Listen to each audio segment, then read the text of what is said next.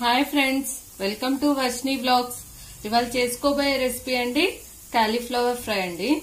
కాలీఫ్లవర్ని ఇలా చిన్న చిన్నగా కట్ చేసి పెట్టుకున్నానండి. కాలీఫ్లవర్ ఆనియన్స్ పచ్చిమిర్చి ధనియాల పొడి కారం పసుపు ఉప్పు జింజర్ గార్లిక్ పేస్ట్ అండి. కొ- కొత్తిమీర. ముందుగా స్టవ్ వెలిగించుకుని బాండి పెట్టుకుందామండి. వాటర్ పోసాను. ఇది వాటర్ కొంచెం వేడయ్యాక ఈ వాటర్లో ఒక వన్ టీ స్పూన్ ఉప్పు వేస్తున్నానండి. ఇది వేడైనాక కాలీఫ్లవర్ వేద్దామండి. ఏదైనా చిన్న చిన్న పురుగులు ఉన్నా పోతాయి. వాటర్ వేడైపోయినాయండి. ఇందులో క్యాలీఫ్లవర్ వేసేస్తున్నాను. ఇది ఒక ఫైవ్ మినిట్స్ మగ్గించుకుందాము. మూత పెట్టుకుని ఒక ఫైవ్ మినిట్స్. చూడండి ఈ రకంగా మదిలితే చాలు. దించేస్తున్నానండి స్టవ్ ఆపేసి. నీళ్ళు వంచేసుకున్నామండి నీళ్ళు వంచేసుకుని ఒక ప్లేట్లోకి తీసుకున్నాము నీళ్ళు వంచేసుకుని ఒక ప్లేట్లోకి తీసుకున్నామండి స్టవ్ వెలిగించుకొని బాండి పెట్టుకుందామండి. వన్ టేబుల్ స్పూన్ ఆయిల్ వేస్తున్నాను. ఆయిల్ వేడైనాక ఉల్లిపాయ వేస్తున్నాయండి ఒక చిన్న ఉల్లిపాయ ఇచ్చి ఇది బాగా ఫ్రై అవనిద్దామండి.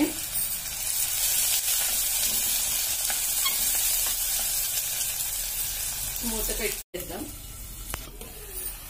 ఆనియన్స్ ఫ్రై అయిపోయినాయండి ఇందులో అల్లం వెల్లుల్లి పేస్ట్ వేస్తున్నాము. వన్ టీ స్పూన్ అల్లం వెల్లుల్లి పేస్ట్ వేస్తున్నామండి ఇది కూడా పచ్చి వాసన పోయేదాకా ఫ్రై చేస్తున్నాము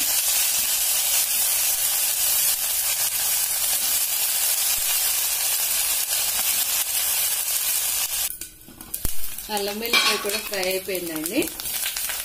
ఇప్పుడు ఇందులో క్యాలీఫ్లవర్ ముక్కలు వేసేస్తున్నాను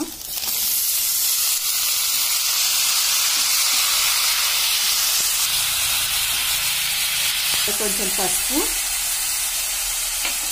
ధనియాల పొడి ఒక వన్ టీ స్పూన్ అండి. కొంచెం ఉప్పు అండి వన్ సరిపడినంత.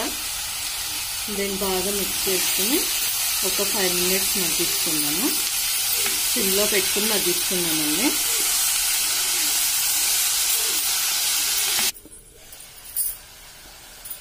ఇంకొక ఫైవ్ మినిట్స్ మగ్గాలండి. దీంట్లో కారం వేసేసుకుని దించేసుకున్నాము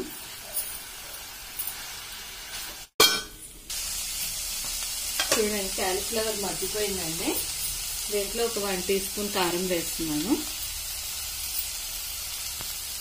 దీన్ని బాగా మిక్స్ చేసుకున్నాము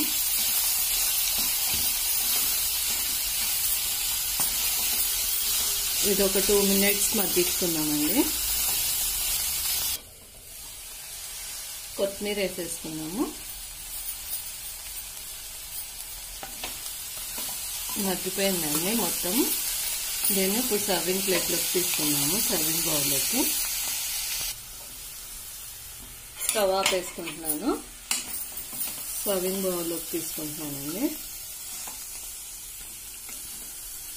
వేడి వేడి కాలీఫ్లవర్ కర్రీ రెడీ అయిపోయిందండి. ఇది చపాతీలోకి కూడా తినొచ్చండి. చపాతీలోకి రైస్ సైడ్ డిష్లోకి బాగుంటుందండి రైస్కి పప్పులోకి కానీ చారులోకి కానీ కొత్తిమీర వేసుకుని గార్నిష్ చేసుకుందామండి. వేడి వేడి కాలీఫ్లవర్ కూడా రెడీ అయిపోయిందండి. మీరు కూడా ఇంట్లో ట్రై చేయండి. నచ్చితే లైక్ చేయండి షేర్ చేయండి సబ్స్క్రైబ్ చేయండి. కామెంట్స్ రూపంలో కామెంట్ పెట్టండి. Thank you